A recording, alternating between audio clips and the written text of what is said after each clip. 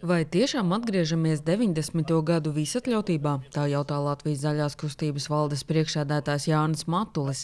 Labā ziņa, ka šī tendence nav vērojama visā Latvijas piekrastē, bet atsevišķas vietas brīžiem pārvēršas gluži vai par šoseju. Arī piekraste upes grīvā, kur ir unikālā pelēkā kāpa, kuras vērtības ir retums pat Eiropā. Kā mums eksperti teikt, tas ir uz vairākiem gadiem ir, ir šī vieta iznīcināta, jo sausais klimats un šī visa šī sausā zemesēdze, kas šeit ir, viņi jau vairs nedod iespēju tai sūnai vai tam biotopam pasakot, atjaunoties.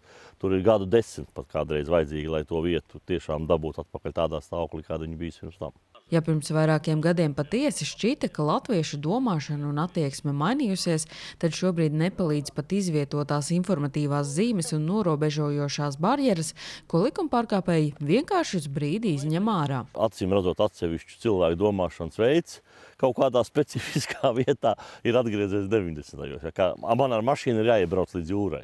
Nu, tas ir kaut kas vienreizējs. Palākā kāpa kļūst par retumu arī tāpēc, ka saulēcīgi to neatīrot no krūmiem un mazajām priedītēm, tā kļūst par mežaino kāpu. Ar projektu aktivitātēm Latvijas zaļā kustība pelēkās kāpas biotopu cenšas saglabāt, un arī šobrīd norit projekts Sonet, kuru finansē Vācijas fonds. Mēs izmantojam pat ār, ārvalstu kolēģu donoru fondu naudas, lai aizsargātu mūsu dabu. Savukārt mūsu vietējie iedzīvotāji, kuriem par to būtu jāpriecājās un, un jārūpējās, viņi mums raksta naidīgus komentārus mūsu, mūsu teiksim, sociālajos mēdījos. Ja, ko jūs te darat un no kādām tiesībām un tā tālāk. Ja, tas vienkārši mazliet šokējoši. Es brīnos, ka vietējie iedzīvotāji nepriecēti par to, ka viņu daba tiek mēģināta saglabāt, bet viņi, viņi sašutuši par to, ka viņam mašīnām nevar iebraukt pie jūras.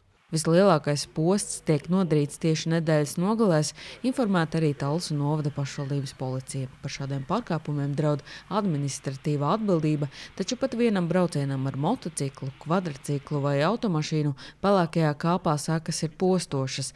Tāpēc Jānis Matulis vēlreiz aicina iedzīvotājs aizdomāties par savu attieksmi un cilvēcību. Sanita Liepiņa, Terēza Matisone, TV9 pakalni.